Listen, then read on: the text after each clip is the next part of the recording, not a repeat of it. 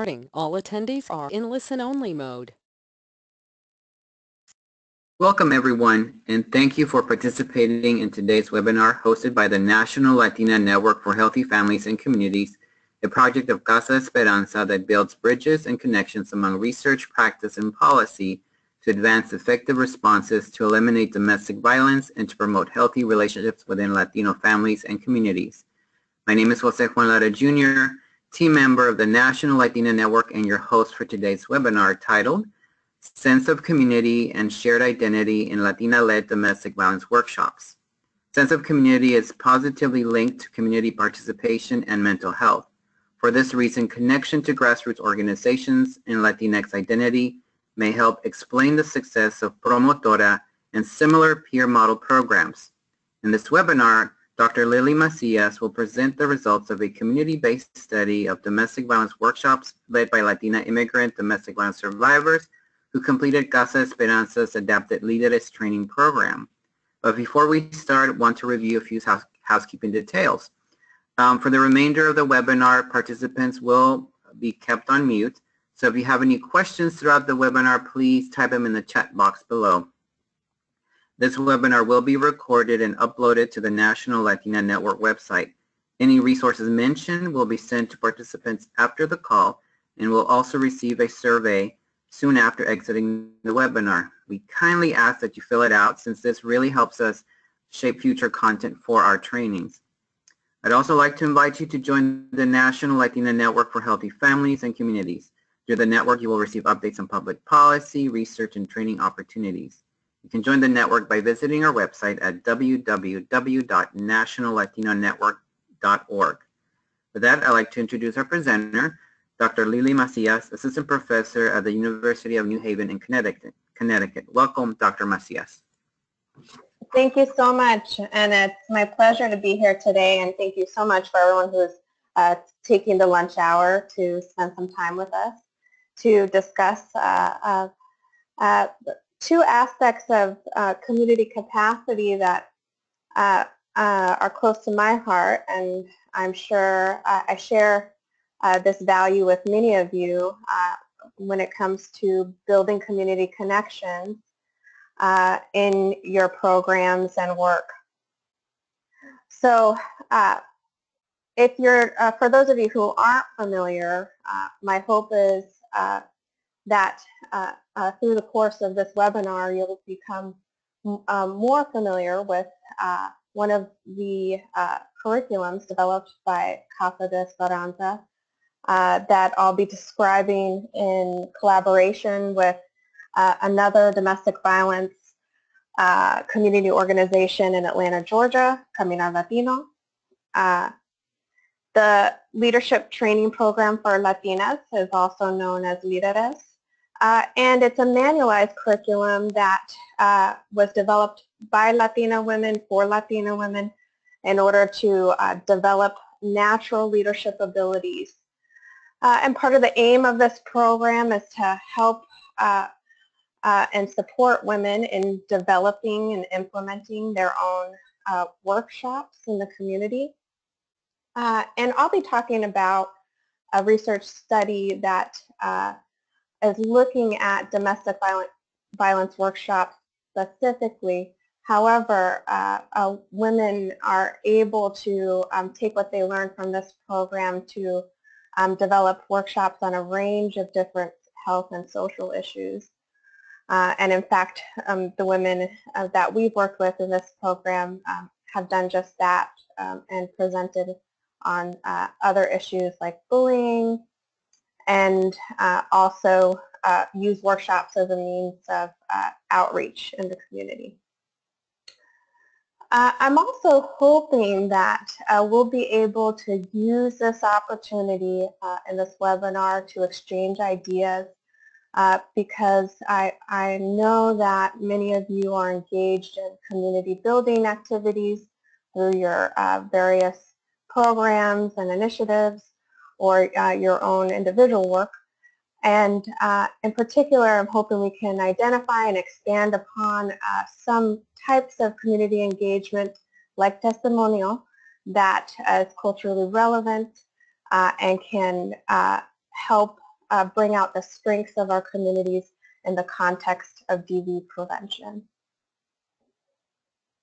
So I want to begin by uh, discussing why it's important and why uh, uh, I and my colleagues were interested in evaluating and researching peer programs uh, like the Líderes program and similar Promotora programs.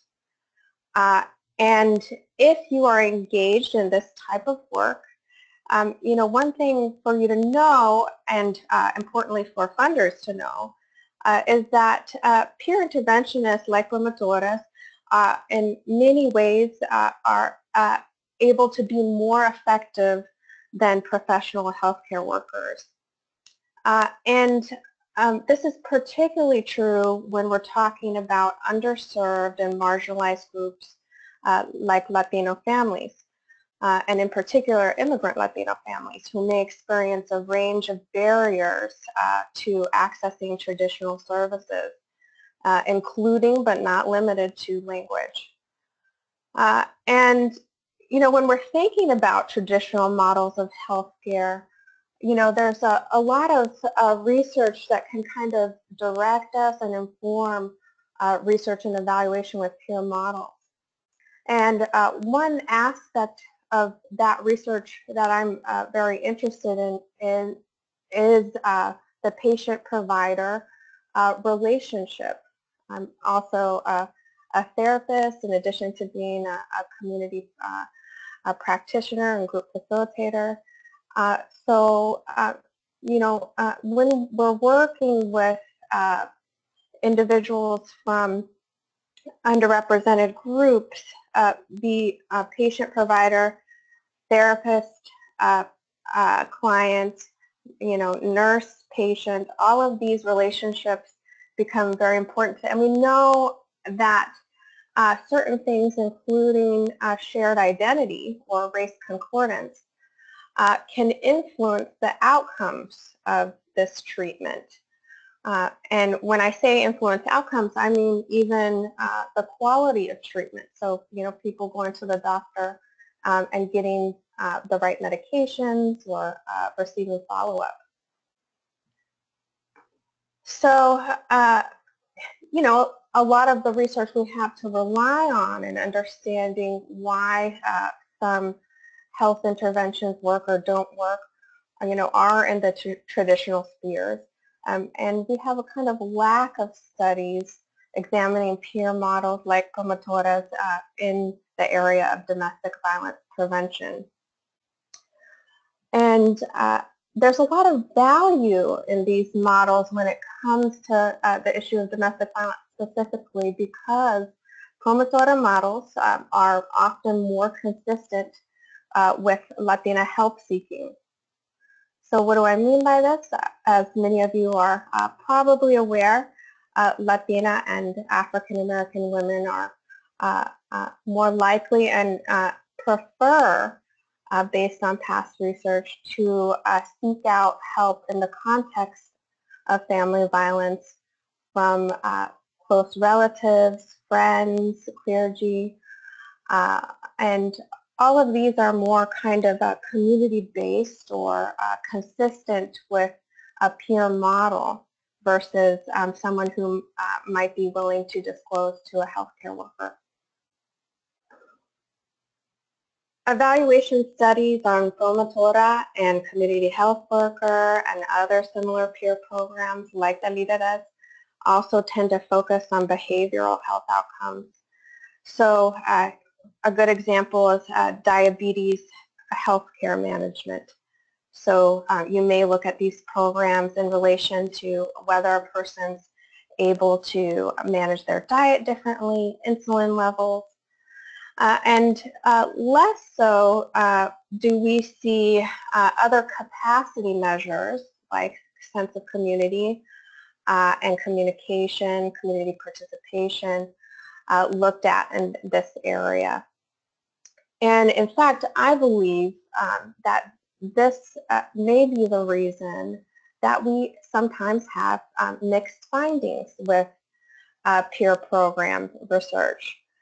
Uh, and um, like the importance of the relationship in traditional settings, uh, I believe that uh, looking at uh, capacity measures uh, uh, within the relationship between a peer interventionist and a community uh, may be important for guiding future program development, development and research. So what do I mean by community capacity? Here you have a, a depiction of uh, our conceptual model that many of us already uh, uh, use to guide the work that we do uh, with communities. Uh, it puts uh, capacity building at the center and capacity can refer to an individual or a group of people's ability to mobilize themselves around an issue like domestic violence. And we also want to take into account the different ecological levels of the individual, the family unit, uh, community, and social political uh, laws, policies, so on and so forth. And if you uh, want to uh, look more into this uh, guiding framework, uh, you can see our recent publication in the Latina Latino Psycho Psychology Bulletin.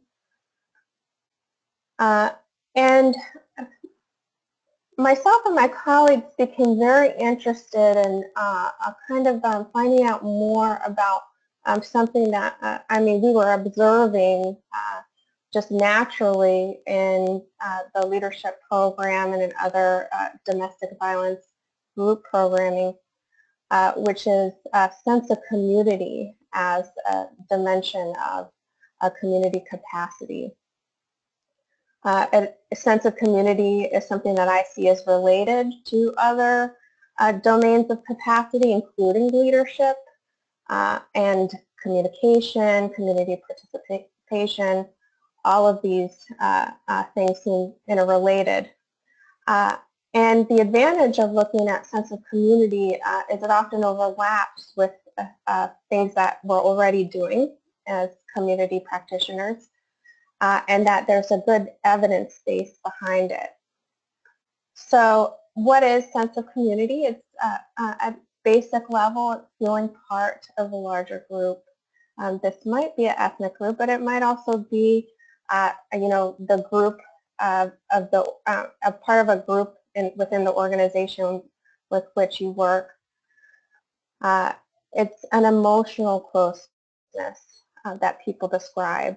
Uh, and importantly, um, in the context of health and um, social issues, uh, um, many define sense of community as one's ability to have their needs met. Now, these needs may be emotional, they may be social, uh, or they may be more practical.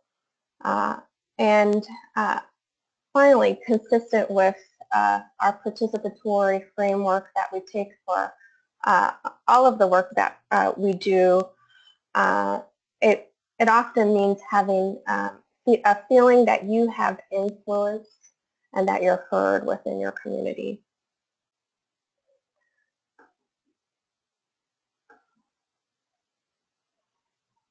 And as I mentioned before, Sense of Community uh, has a strong research base, uh, and it's mostly been uh, uh built uh, by community psychologists who were engaged in community-based research.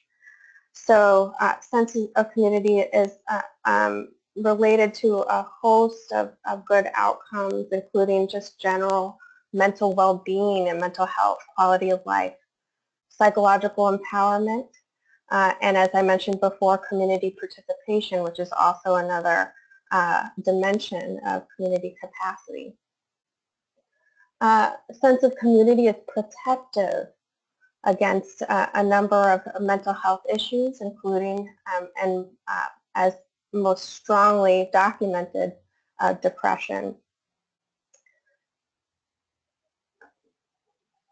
So um, you know, part of why we know this is that uh, uh, some community uh, researchers um, from the field of community psychology uh, decided to uh, take it upon themselves to do the work of developing good measurement scales Uh, and I'm, I'm going over this in a little more uh, detail than I'm, i might uh, with um, other audiences because I think the um, brief sense of community scale um, has value uh, not just for uh, research and programs and evaluation, uh, but also as a tool that uh, organizations can use uh, to see how they're doing uh, with a community building efforts and as a kind of measure of for their own internal use.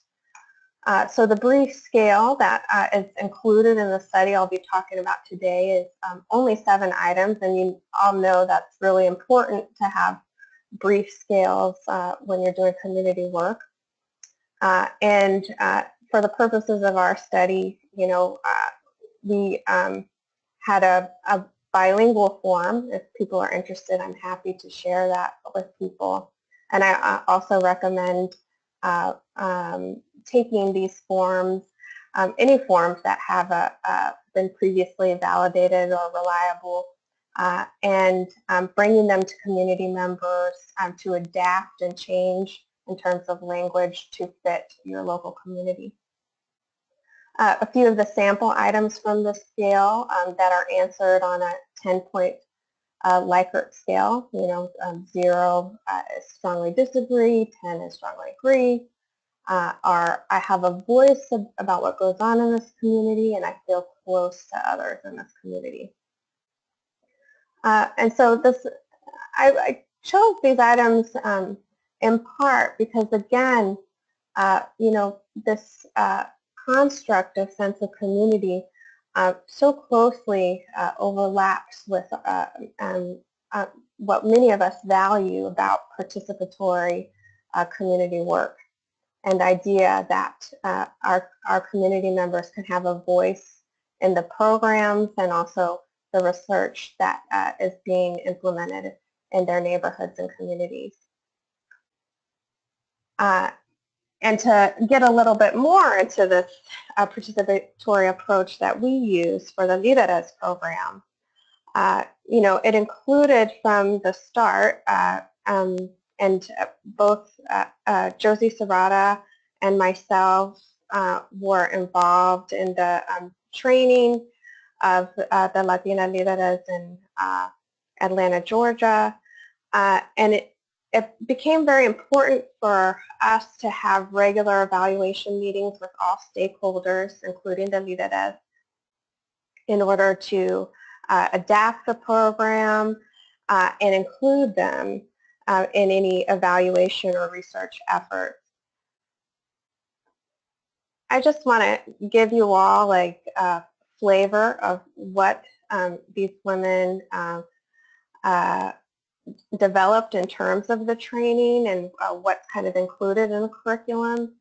Uh, this is um, a table of just the first four sessions. Um, the training can be completed uh, in, in you know, about six weeks and uh, it includes uh, a community building um, community building aspect in the early sessions uh, and also uh, explores topics like uh, leadership identity, a community, uh, and you see in session four that women start to develop presentation skills and practice presentations as well.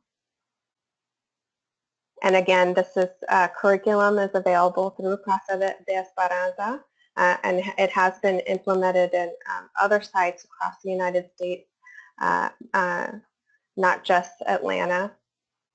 But I'm going to turn to the current study uh, um, because, uh, you know, a lot of the um, research on peer-led programs, including Líderes, um, uh, have focused in the past on the effects on the peer leaders or uh, leaders going through trainings themselves, uh, including um, some of uh, our published uh, research on this topic. So uh, I and my colleagues were very interested in looking on the broader impact of, of these programs on community members attending workshops as that's a, um, uh, one of the main aims of the program. Um, so for the study, we collected survey data before and after uh, two uh, Líderes-led DV workshops. Um, they were led by two or three uh, of the Líderes. And uh, we also collected data uh, from uh, what I would call control uh, activities that were also kind of community en uh, uh, engagement activities. one was like a, a, Zumba class that um, was held out of a Latina-owned salon. And another was a parenting class uh, that was um, led by um, staff members that were unrelated to the Líderes program. And for this uh, study, uh, I, I, really wanted to get at this basic assumption about um, peer and promotora models uh, because I think it will help build up the literature base and help guide future uh, research and uh, studies in this area. Um, essentially, uh, I hypothesize that sense of community uh, might influence as a capacity measure how peer leaders are uh, received by community members. Uh, and I'll explain this a little bit more uh, in detail as we go along. Uh, but, but I also want to point out that we collected, in addition to this, some evaluation data uh, that was qualitative, so elicit, eliciting feedback from uh, the women that attended the workshops so that we could um, get a sense of uh, their needs for future workshops and uh, um, their opinions and uh, thoughts about the program. And for uh, th that qualitative data, we, we had no uh, expectations. We just wanted to see what uh, emerged from the data. So uh, measures that uh, we included in these uh, um, uh, individual interviews, which were um, conducted by trained bilingual research assistants. and, you know, all the questions were read so as not to assume literacy, and it was more of a conversation with attendees. Um, as I mentioned before, um, brief is the key word in community uh, practice and research, so uh, we needed to get these things done fast so that we weren't uh, taking up time in the workshops or taking up um, time out of people's day. So we asked questions about demographics briefly, past experiences with DV services and uh, the issue of domestic violence uh, in terms of knowledge. We asked about the perception of the workshop leaders with a single item, again, to keep things brief. Uh, and that uh, item was, um, I feel that the um, uh, Caminar Latino leaders uh, are a part of my community. Now, you can see with, with an item like that how it might be important for people to have a pre-existing sense of connection to a community uh, before they would feel that uh, a peer interventionist was a part of that community. And uh, that's precisely what I was uh, interested in looking at. Uh, qualitative data for this study uh, was uh, collected and analyzed using, a modified grounded theory approach. Um, the important thing about that is that uh, consistent with the participatory methods, we were looking for um, different perspectives, not just from the researchers, but uh, from uh, the participants themselves at different time, time points. So we also went back to participants to share preliminary findings and get their feedback.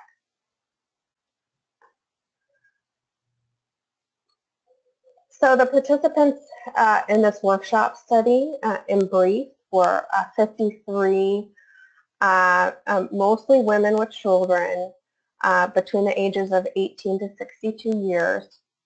We had some pretty similar groups with respect to those who attended workshops and interacted with the líderes and those that did not. And reflective of uh, the larger Atlanta community, uh, most of uh, the individuals of this study were uh, immigrant Latinas from uh, Mexico, but also a host of other Latin American countries. Um, and we have a very diverse community um, in um, the urban area of Atlanta.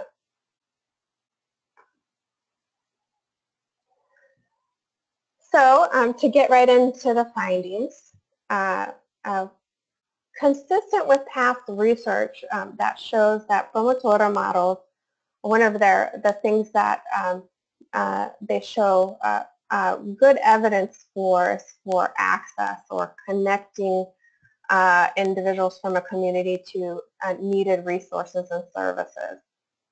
and in fact, two-thirds of the workshop participants were interested in utilizing uh, the uh, um, Latina leaders for uh, referrals for help, not just for domestic violence, but also other um, issues they were facing, and also not just for themselves, but for others. And this was a cross condition. So uh, even uh, women just hearing about the program and attending some other community uh, event uh, or uh, express interest in utilizing the program for these purposes. Um, the workshop attendees specifically uh, rated workshops very highly. And we also found effects for uh, the test of the hypotheses I described early, earlier. So we found effects for perceptions of Latina leaders based on um, uh, uh, past DV experience and an interaction effect between sense of community and workshop attendance.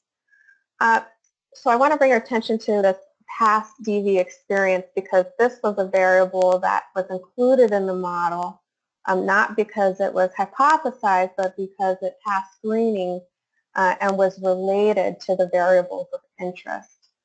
Uh, and as it turns out, this became a very interesting finding in my mind uh, once you look at the, uh, it in, uh, in, conjunction with the qualitative findings.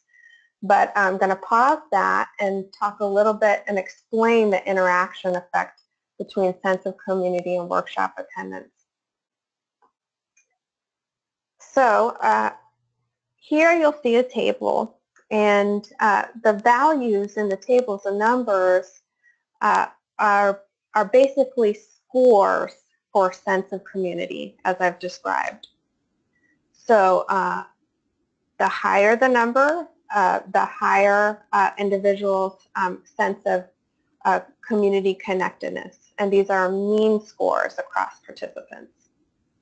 So the interaction effect, which was significant in terms of differences between scores, um, shows that uh, we had differences between um, the workshop and control activities um, and um, how people identified uh, the Latina uh, líderes in terms of that question. And the question I'll say again was, um, I feel uh, the women uh, from the Líderes program are a part of my community.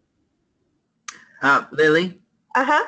Sorry to interrupt. I have a question here. Um, yeah. Are the leaders similar to promotoras? Do they have a similar role in the community? I don't know if you're going to cover this, but that's one of the questions. Oh, that's a great question. Um, so actually, uh, uh, uh, I'm glad you asked that because I think um, given the discussion we're going to have about shared identity, the Líderes background is, is very important. And I, I, didn't have time to go into the full uh, evaluation of the impact of the training program on the women themselves. but uh, the women were recruited um, from the domestic violence organization Caminar Latino, uh, and all were uh, past survivors of domestic violence uh, who had uh, gone through um, the uh, support group programs at Caminar Latino. And um, they were identified because um, at, um, not just the leader does, but it, it is a common thing at Caminar.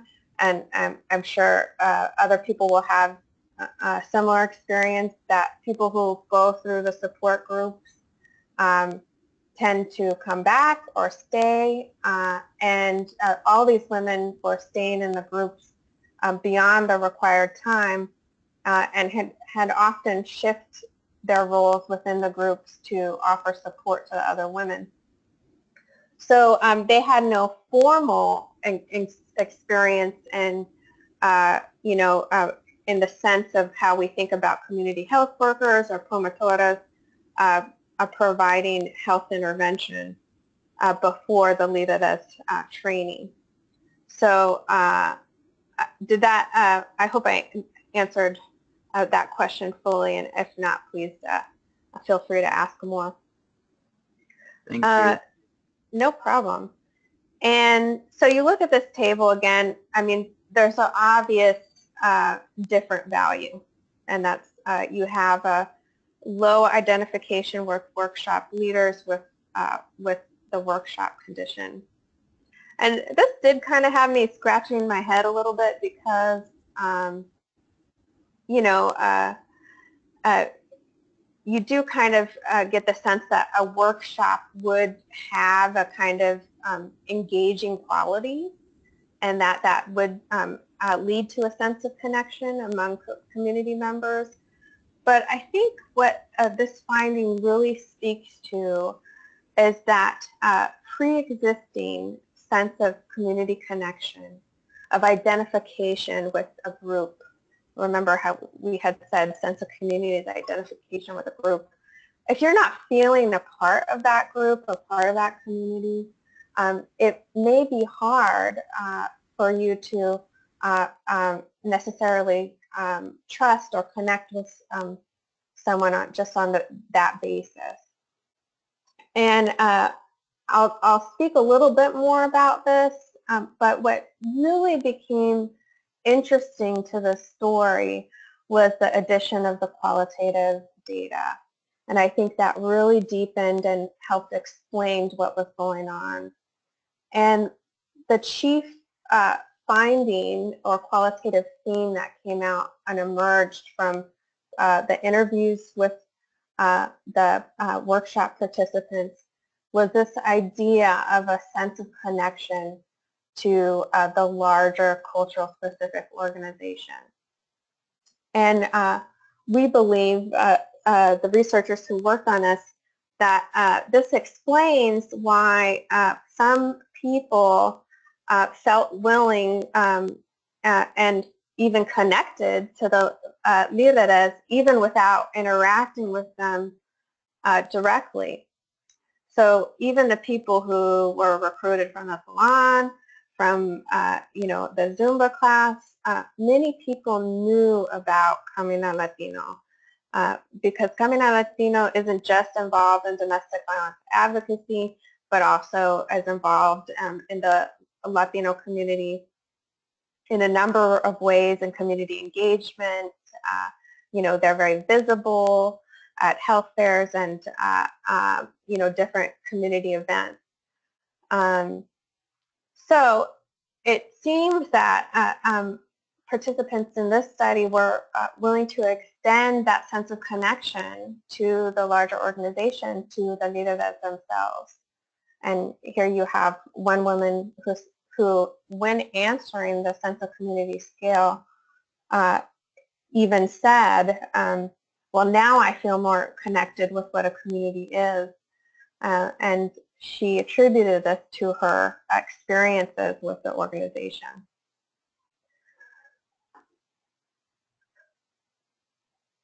Also representative among the uh, uh, uh, participants in this study uh, were um, uh, were, were an interest and expressed interest in the community leaders' testimonies of their own experiences of violence. So this was about 10% of the sample. Uh, it seemed to be a lot of people who uh, were uh, in the workshops.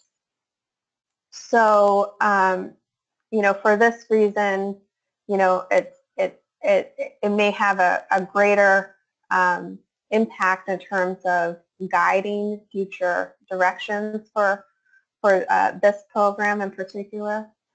Uh, but essentially, uh, the líderes, when they were delivering their workshops, uh, um, they have an amount of time where they give testimony of their own experiences. This was an adaptation of the program in some ways because the program was originally developed to be um, implemented uh, by um, uh, Latina women regardless of their own experience with domestic violence.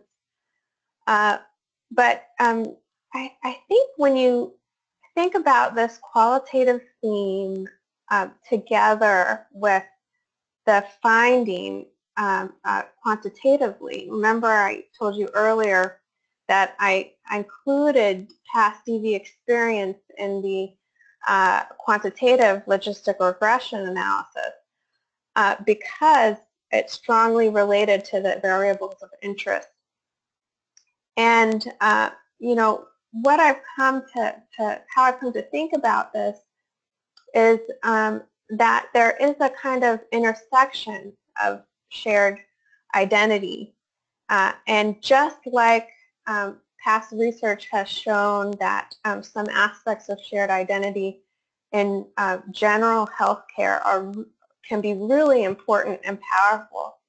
Uh, I, I think also um, that um, just like a lot of us are aware of in our own community work, um, you know, we can have uh, uh, meaningful connections uh, and experiences that can inform our work with community.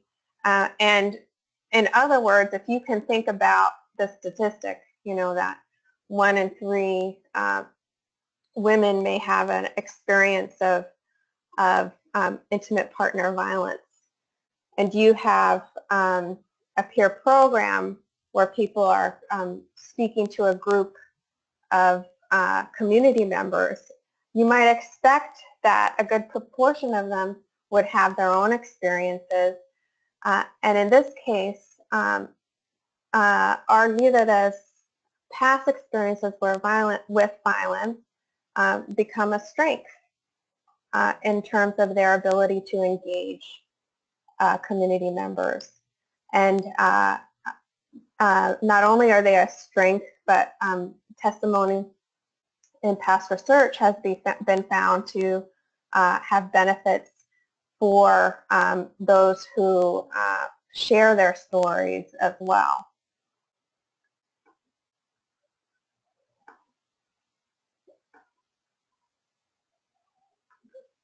Very briefly, because I want to make some uh, time too for us to discuss, there were a few other qualitative themes that emerged.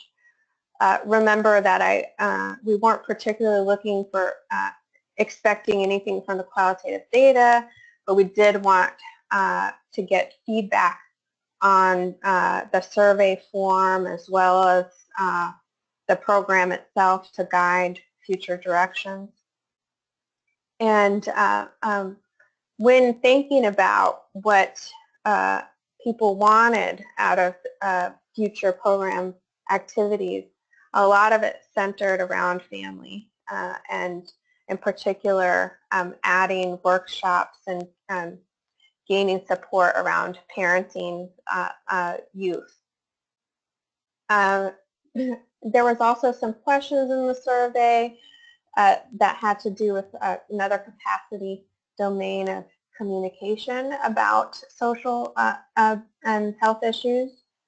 And um, parents acknowledge that, that, domestic violence is a, a, hard thing to talk to uh, children about. Uh, and uh, they talked about uh, it being a sensitive topic that they weren't sure how to bring up and how to talk about. Um, so these are all kind of areas um, uh, I'm open to uh, uh, your experiences with and um, that uh, could inform um, how these uh, this peer program goes forward uh, in Atlanta but also elsewhere.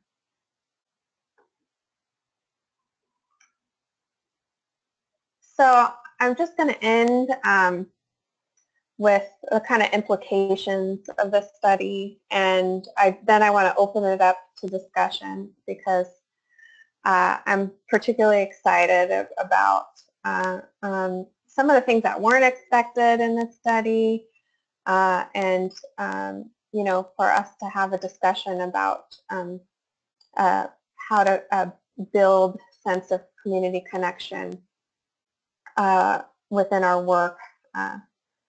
So uh, um, in general, I, I think uh, something to take away from this study and that um, uh, if, if um, you are looking for funding, if you're looking to justify or to work on logic models or anything to help explain your work, I think this is a good area of research to turn to because um, uh, you know, I think uh, from the study, we can think about community building as a almost um, a first step in prevention efforts.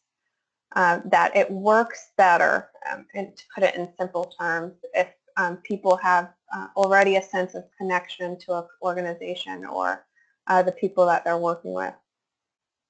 Uh, I also wanted to highlight sense of community as um, uh, uh, useful uh, and validated, a reliable measure that you can use for programs and organizations. And finally, highlight testimonial as a, a, culturally relevant way uh, to communicate uh, knowledge and experience through these programs. And uh, with that, I hope to open it up to some discussion. I, of course, uh, have to thank uh, the Líderes program for uh, their help and uh, support in uh, both guiding this project. And the truth is it just would have never gotten done if, uh, if the Líderes themselves hadn't um, advocated for it to get done. And, um, and then I also want to thank um, both Casa de Esperanza and Caminar Latino, uh, as well as um, the APA and Society for Community Research and Action for um, uh, supporting the study through grants. Uh, so with that, let's, uh, if we can open it up to discussion, I'd love to hear a little bit about what other people are doing in terms of community building so yeah, just a reminder, folks, if you have any questions or comments, please type them in the chat box below. um, and that, just a quick reminder that um, for folks who are interested in um, implementing or using the Líderes curriculum, you can, uh, there's, in addition to that, there's also technical assistance that Casa de Esperanza can provide around how to use the Líderes curriculum, which can be found on our website, nationallatinonetwork.org. Um.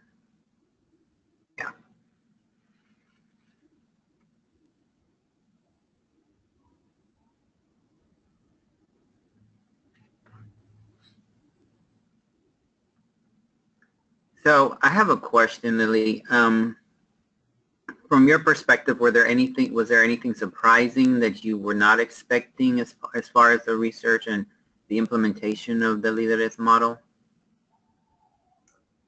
Uh, well, you know, I think I think this idea of um, shared identity, um, in particular, shared um, identities of being survivors, uh, um, was not something that uh, we necessarily sought out to test or look at, uh, you know, kind of came about because of the basic of assumption of promotora and peer models uh, that um, uh, they they are uh, a, a, more trusted source of knowledge um, on the basis of, of something like, you know, shared eth- ethnicity.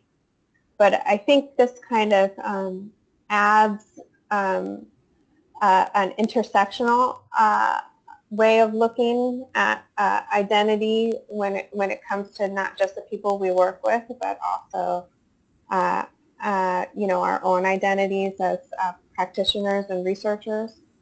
Um, you know, you don't have to share um, the same experiences of the people you work with, but I think it was um, very powerful for uh, women survivors of domestic violence uh, uh, for you know for women to think about their experiences as a strength when it comes to the work that they do. I think also uh, an important point around that is um, having being part or having members of your own community take the lead. There's also minimizes this whole expectation of explaining your cultural behavior, for lack of a better word. I think having the experience of working at a culturally specific organization, there's certain things that I don't have to explain because I am, you know, I work for the Latino community. It doesn't mean that we're all the same, but I think sometimes because there is this shared affinity around maybe food and language and cultural practices that it kind of minimizes some of that, having to translate some of these behaviors. Um, do you think that's why this happens? Why is this important? Oh, absolutely, and it, it definitely mirrors the, the um, you know uh, large uh, evidence we have in more traditional settings. You know, uh, in therapists working with uh, uh, patients or in with doctors' relationships with their patients. Uh, and, and there we see, um, you know, even if it's not talked about explicitly, um, people know and are aware when their providers, uh, you know, um, understand their cultural background. Um, sometimes it is as obvious as, as, shared language, but most of the time it's not.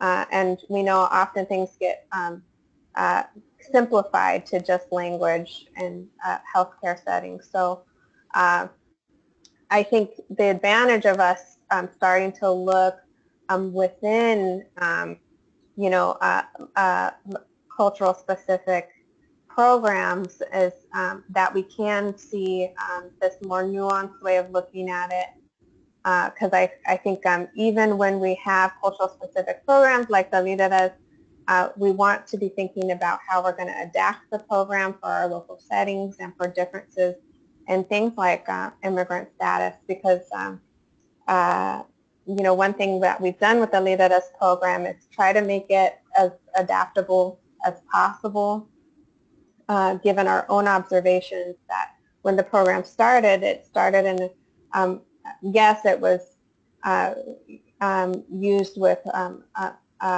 uh, Latina women, um, but uh, very different uh, sociocultural settings, uh, you know, from the uh, initial implementation to the adaptation. And it, this can be in terms of immigrant, immigrant status and, you know, different, having different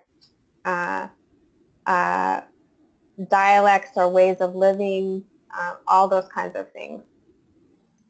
And I think I'm, uh, you know, particularly interested in hearing from other people because I think, you know, one thing that the study highlights is that um, there are members of the Latino community that, um, uh, um, you know, we may need to um, engage in um, different ways uh, in order to um, build sense of community.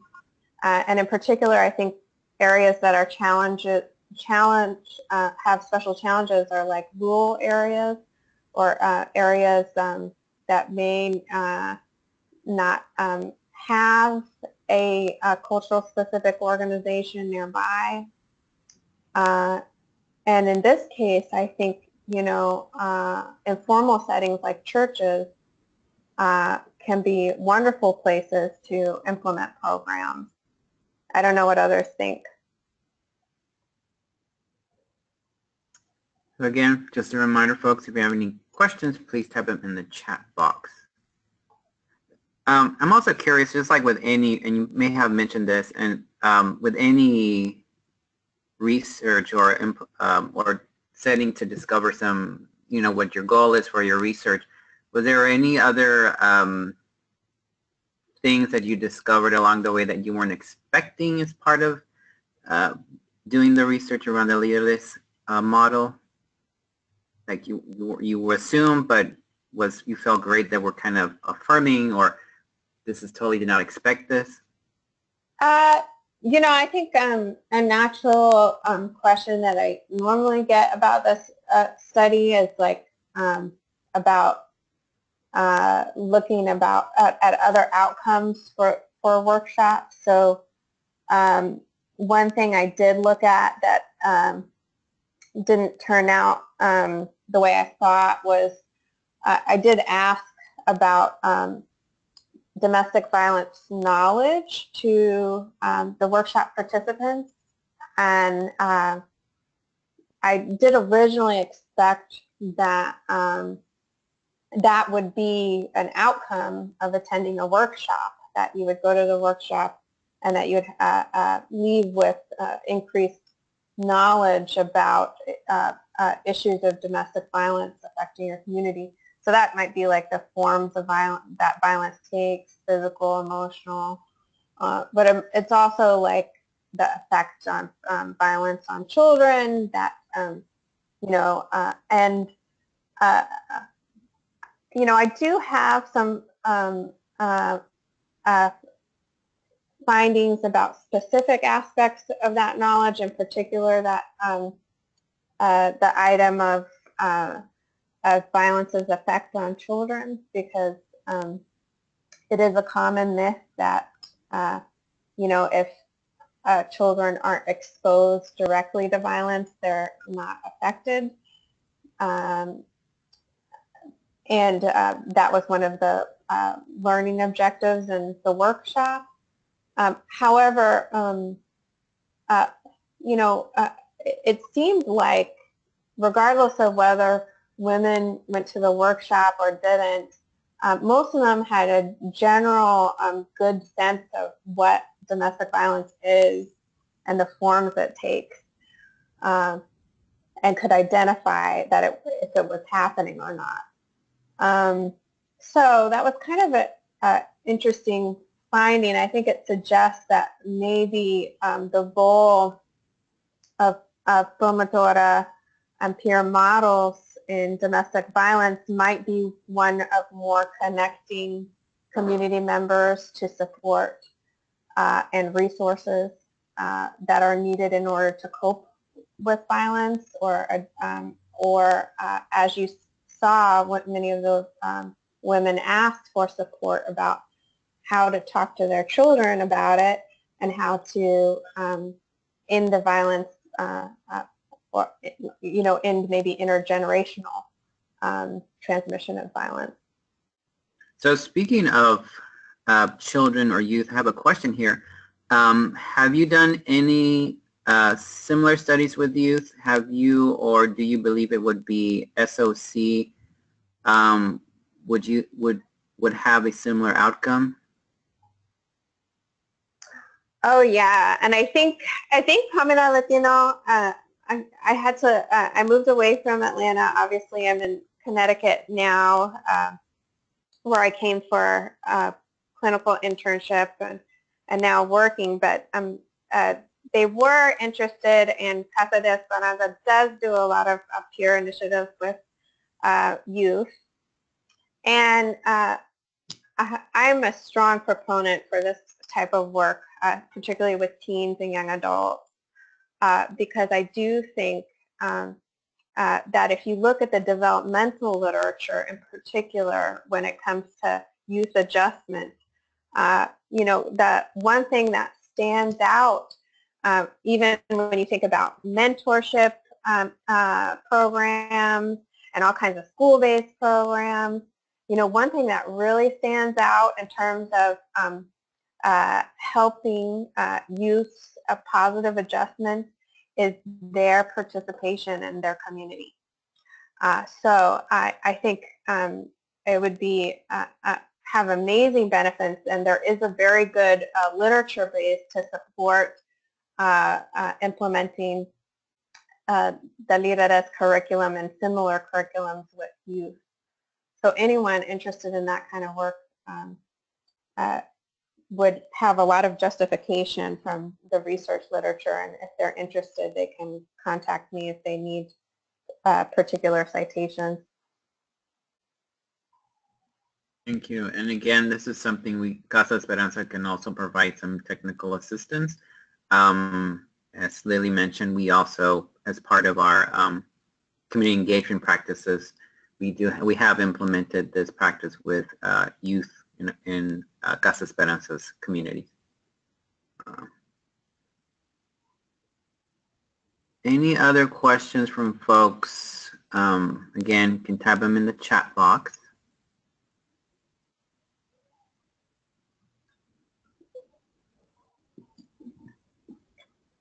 Yeah, I guess I'm curious if anyone uh, else uh, has experience or um, has done work with uh, uh using testimonial. Okay, here we go. Um, okay, here's a question. Um, what is the preparation work that an organi organization needs to do in order to use the Líderes curriculum, or do they only need to need the desire? I know you may have answered that already. Yeah, uh, well, I mean, it does take uh, some resources and time.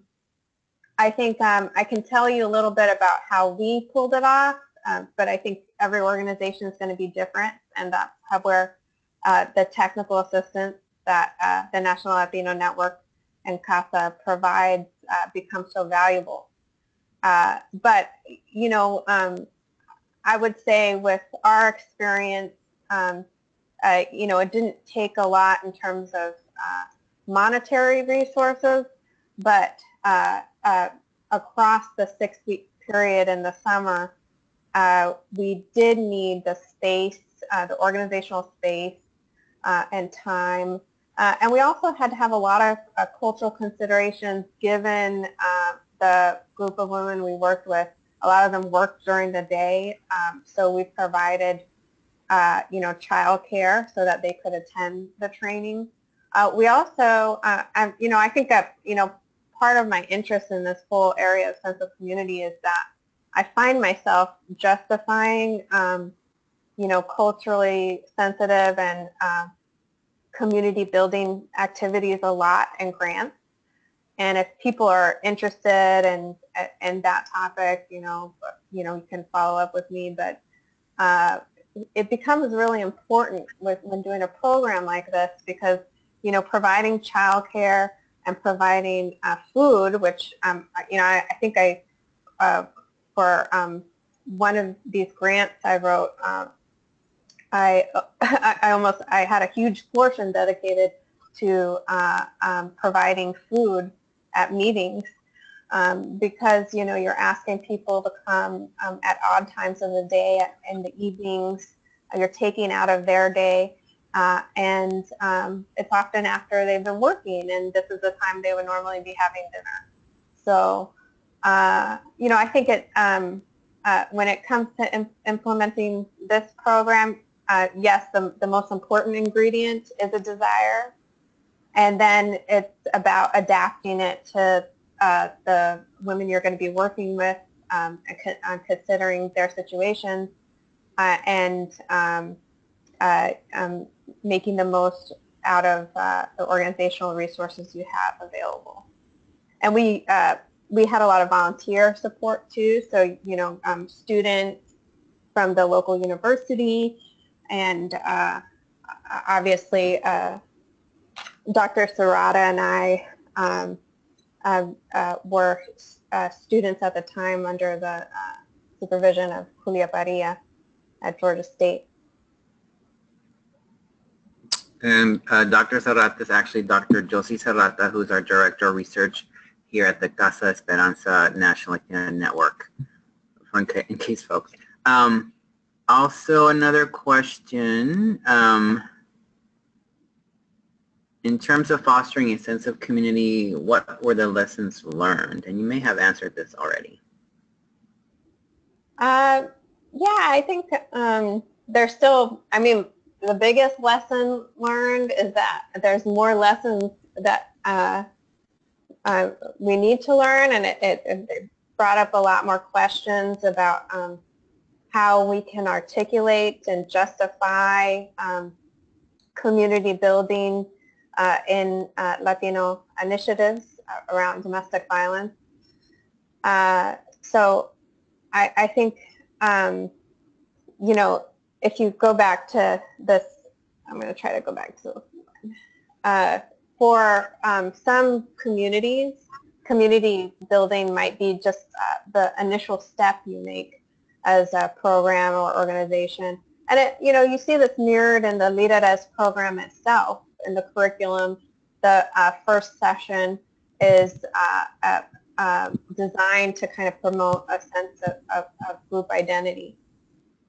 Uh, and I, um, I also think that whereas most past research has um, looked at peer programs as they relate to behavioral health outcomes, like, uh, you know, did I change my diet or did I um, you take my medicine on uh, when as I was prescribed.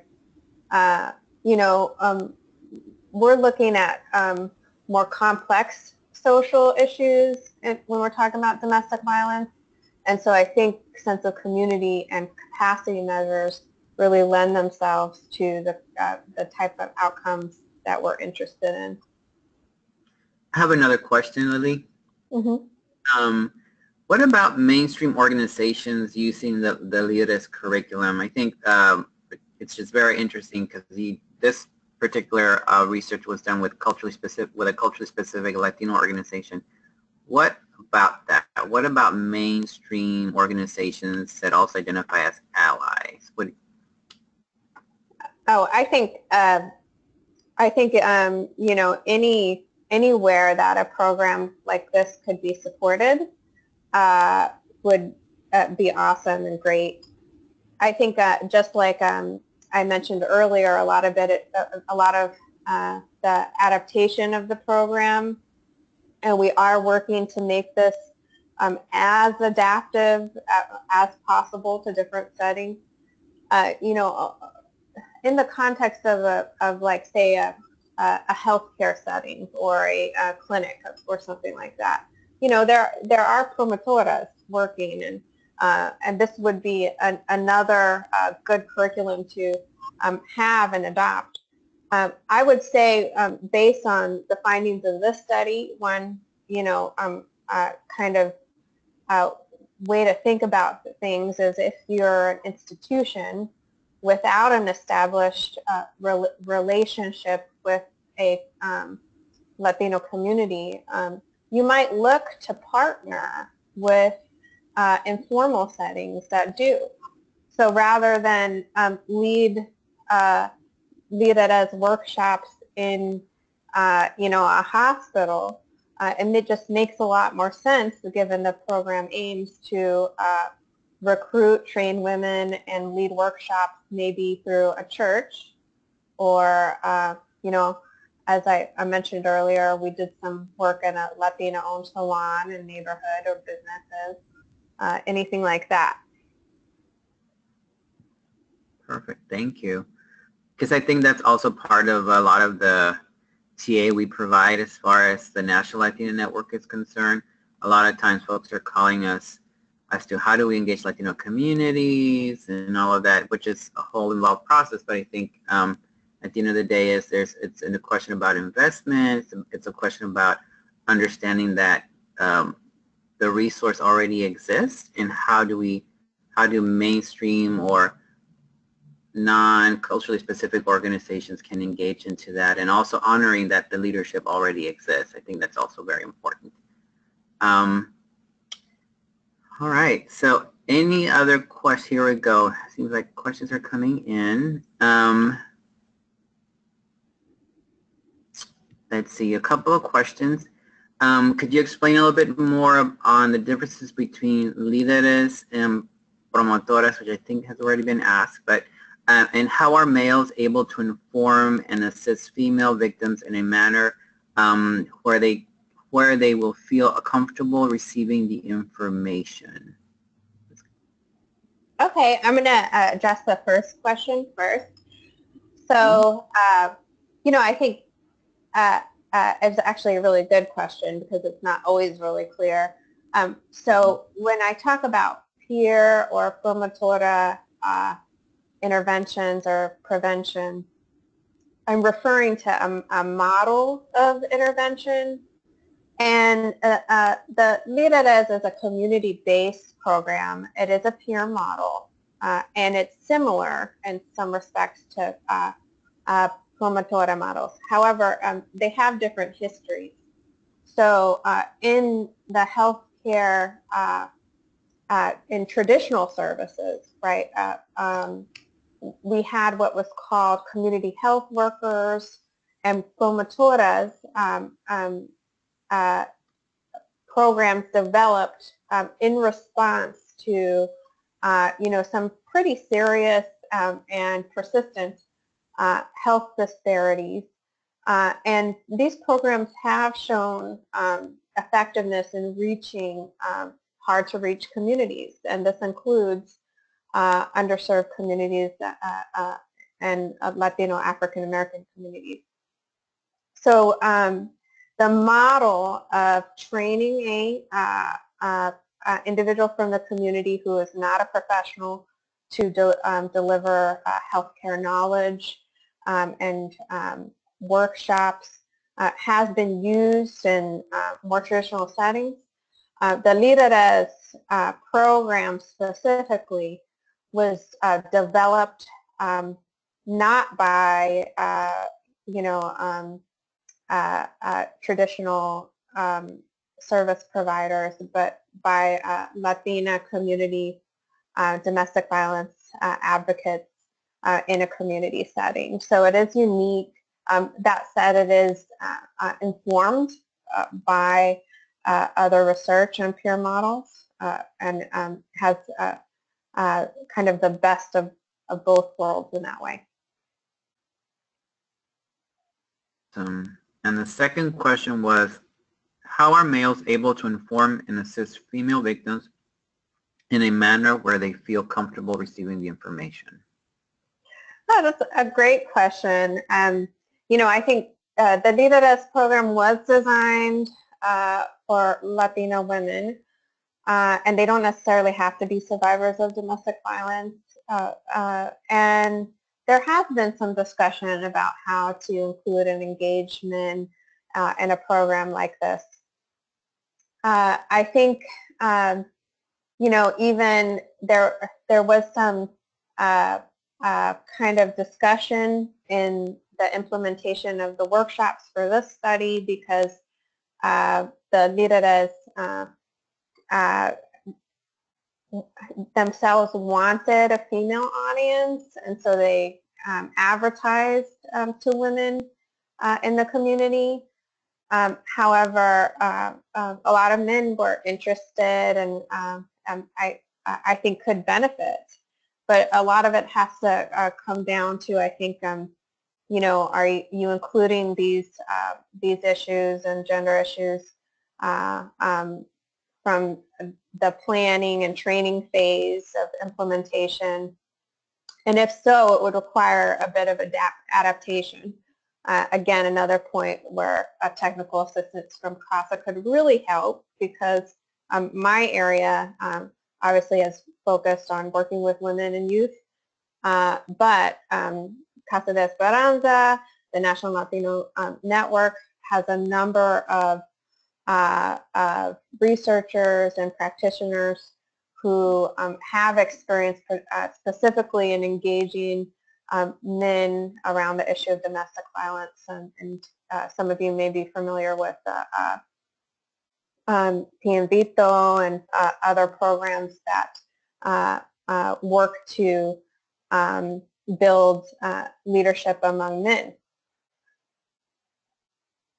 Thanks, Lily. Another question. Any tips for researchers working with Latino communities? Um, well, I, I mean, I, I think um, it, it could be a, a whole another talk, uh, and I do have another webinar that I've done on uh, uh, culturally sensitive uh, research and evaluation with uh, Latino communities in particular. And, uh, you know, I, I, I, if I had to um, leave you all with just one thing um, from from that um, very broad and um, you know um, um, kind of complicated issue of, of working with um, marginalized groups, I think uh, it would be the value of participatory methods. So participatory methods mean that you include your uh, research subjects and other stakeholders. So in this case, uh, the líderes were a part of, um, you know, the, the brief sense of community scale um, has a very good and valid uh, um, Spanish translation. But um, I, I brought uh, that and the, the entire survey measure uh, to the líderes who um, had input and made changes on language and things like that um, on the basis of their experience of working with the uh, community. Uh, and that continued throughout the, the entire um, uh, research study uh, with regular meetings. And um, uh, it also means using mixed methods. So um, using both, uh, you know, if all I had was the quantitative you know, that um, interaction effect, and I saw those numbers for sense of community, uh, it, it wouldn't have been as meaningful without the qualitative data I had that um, um, highlighted the uh, workshop participants' voices. Thank you. All right. Any other questions from our participants? Thank you all so much. It's been my pleasure to be here. It's, you know, always kind of weird not seeing everybody, but um, it's uh, uh, been wonderful to, to share this time with you. And um, I'm very open. Um, again, my email's there. If you have any, if you want to uh, have any questions or want to discuss something else uh, in more detail, feel free to reach out to me. Great. Again, thank you, Dr. Macias, for um, leading this discussion. It's certainly been very interesting. Um, again, just a reminder for folks, um, this website will be uploaded and saved to our, I mean, this webinar will be uploaded and saved um, to the National Latina Network website. And again, um, the PowerPoint will be shared to all the participants today. Um, if folks are interested in receiving more information around um, the organization, you can go to our website to nationallatinonetwork.org and re get registered and um, get more information around current events that are happening with the network and in upcoming trainings. Again, Dr. Macias, thank you so very much and talk to everyone later.